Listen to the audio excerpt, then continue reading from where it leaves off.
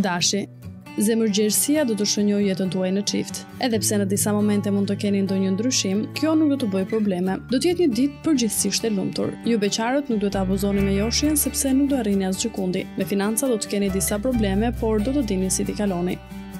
Demi. Marrëdhënia juaj me partnerin do të jetë e zjarrtë dhe nuk mund të qëndroni dot larg njëri-tjetrit. Kjo është normale, duke qenë se ndiheni aq mirë bashkë. Për beqarët do të jetë një nga ditët më të mira për dashurinë. Jo vetëm Venusi, por edhe Jupiteri do të ndikojnë në qiellin tuaj dhe do t'ju sjellin një takim të rëndësishëm. Do të keni edhe për pak kohë vështirësi financiare. Binjakët. Mbase pasion shumë të madh nuk do të keni sot në jetën tuaj në çift, por do të jeni të lumtur dhe marrëdhënia do të jetë e ekuilibruar. Në jetën sentimentale të beqarëve nuk do të ndikojë asnjë planet, për pasojë nuk do të ketë ndryshime të mëdha. Në planin financiar yjet do t'ju bëjnë më të kthjellët dhe më realist. Do bëni operacione financiare, por edhe do fitoni nga ato. Shpenzoni me maturi.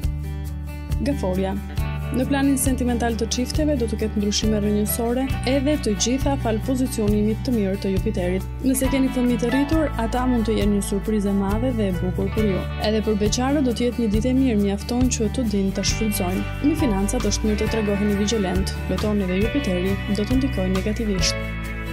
Luani Jo vetëm që Venusi do të ndikojë në jetën tuaj në çift, por ai do të bashkëpunojë edhe me Jupiterin, i cili është planeti më i favorshëm. Të dy do t'ju premtojnë shumë dashuri.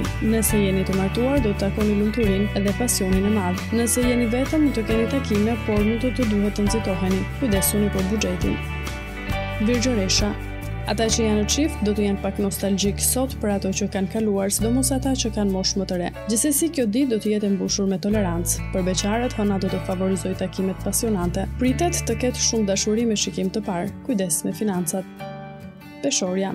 Gjatë ditës së sotme, ju dhe partneri do të keni një takim me persona të tjerë. Gjithçka që do të ndodhë do t'ju bëjë të ndryshoni mënyrën e të menduarit dhe të vepruarit në jetën në çift. Beqarët duhet të ruajnë vetëkontrollin sepse situata mund t'ju dalë jashtë kornizave. Kujdes. Çështjet financiare do të jenë të mbrojtura. Akrepi. Falë Venusit, klima në çift do të jetë e qëndrueshme. Ata që kanë pasur zënka do të pajtohen dhe do e forcojnë lidhjen. Nëse e keni lënë disi pas dore atë që keni në krah, bëni ndryshimet e duhura. Jeta seksuale do të jetë e mirë. Dielli do të ndikojë pozitivisht për beqarët. Do të keni aventura. Kujdesuni për financat dhe mos bëni asnjë shpenzim. Shigjetari Planetët do t'ju ndihmojnë edhe ju të forconi bashkëpunimin me partnerin dhe të ngrohni klimën në çift. Beqarët do të tërhiqen tmerrësisht nga dashuritë e pamundura. Kthehuni sa më shpejt në realitet dhe kënaquni me atë që do t'ju ofrohet. Shumë maturi duhet të tregoni në sektorin e financave. Bricjapi.